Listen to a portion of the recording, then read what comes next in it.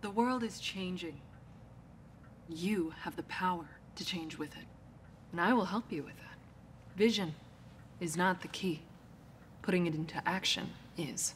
And I will help you with that. Do not follow your competitors. Understand where they're going. And they'll walk the world with you. It's not a project. It's a culture.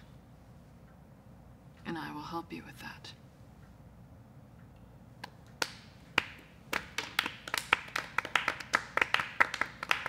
Way to go, Susan. Yeah, kind of like Braveheart.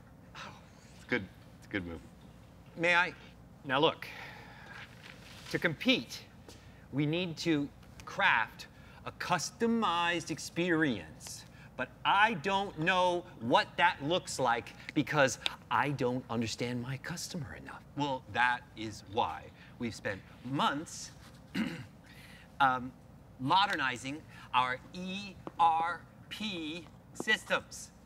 In fact, next month, we will double our transaction processing volume. So that's good news. Transaction processing. That's all great, John. But how do I get to know my customer better? Kaden, what capabilities do we need to get a full view of your customer? Oh, well, I, I need to know where, when, and how they connect to us, how they feel when they share moments with us, and how can we wow them when they're with us. How about building connectivity? Think of the insights we could unlock if we were to integrate your ERP with your CRM data and model them through AI ML algorithms. Kaden, I suppose we would be able to get real-time customer intelligence Into the hands of our front line so that they can emotionally connect to each and every customer when, it matters most. Hold up. If we were to fully integrate our ERP and CRM, that is a mother lode of data. Oh. So what are we going to do about security? Great point. That is a risk. One way to ensure your customers can trust you with their information is a zero trust ecosystem. That is bold. I'm not sure we can move fast enough to manage it. which means the company will have to evolve to meet its digital ambition. This is where most fail, because that's not about tech, it's about people. If you want to win, then seize it by building an edge to cloud digital operating model.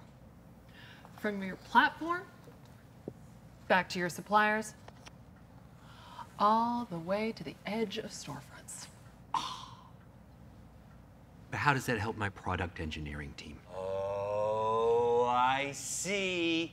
But my, my data modernization initiatives will help us to unlock our ability to personalize customer experience, which is what you wanted. Susan, you did it again. We just mapped out our own alignment. There's more details to work through. But are you ready to present this to the board? Yes. Yes, I am.